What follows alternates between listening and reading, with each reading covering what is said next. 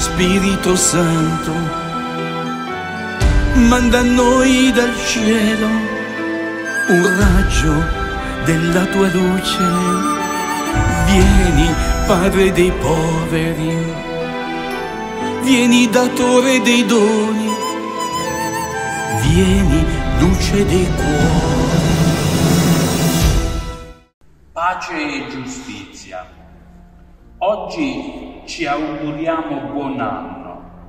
Non sappiamo che cosa ci riserverà, ma di sicuro sarà migliore se costruiamo una rete ospitale e fraterna, se ci impegniamo nel sociale, se lottiamo per i diritti umani.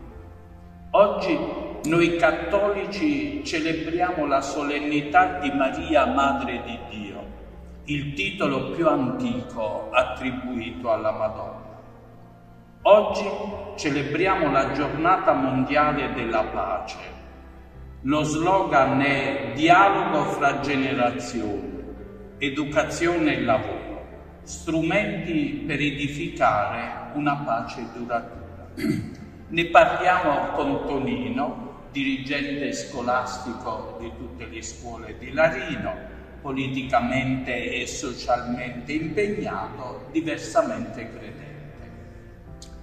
Allora, innanzitutto grazie Don Antonio, grazie di questa opportunità, sia come amministratore locale e sia come dirigente scolastico.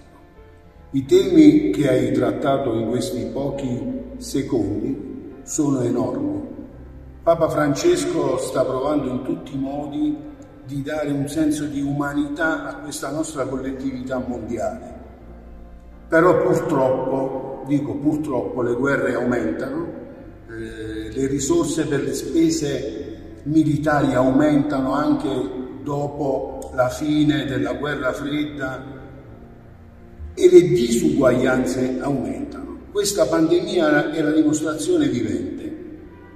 Noi abbiamo le varianti di questo virus che è un virus che, come tante migliaia di virus che circolano tra gli animali, si stanno moltiplicando e cambiando geneticamente in paesi, nazioni eh, popolate da miliardi di persone dove la percentuale dei vaccini è modesta perché non arrivano, perché le multinazionali, le multinazionali stanno pensando più ai profitti Voglio solo ricordare che probabilmente la Pfizer quest'anno avrà un utile di 81 miliardi, 81 miliardi, mentre la nostra nazione sta approvando stamattina una manovra economica da 30 miliardi. Queste sono le disuguaglianze intollerabili.